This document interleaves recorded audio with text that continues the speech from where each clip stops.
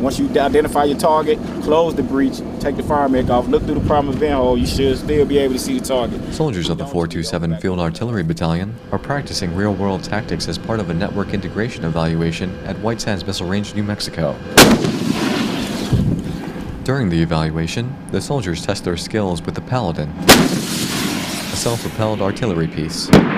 The crew uses direct fire for self-defense, normally when the enemy is within half a mile.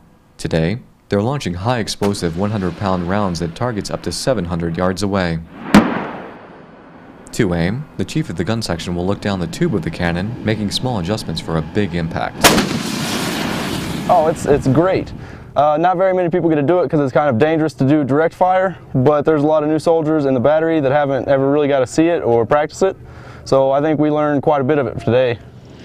The main objective of the network integration evaluation is to evaluate the ability to push large amounts of information, like real-time videos, faster and with the least amount of equipment possible. The biggest thing that would help us with is we're going to be able to have those observers push us those fire missions a little bit faster.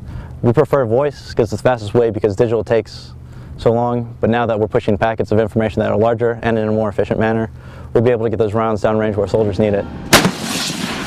Because the network integration evaluation is held in a vast operational area, the communication network can be tested to make sure it will work in a deployed environment rather than just in theory. Army Staff Sergeant Bernardo Fuller, White Sands Missile Range, New Mexico.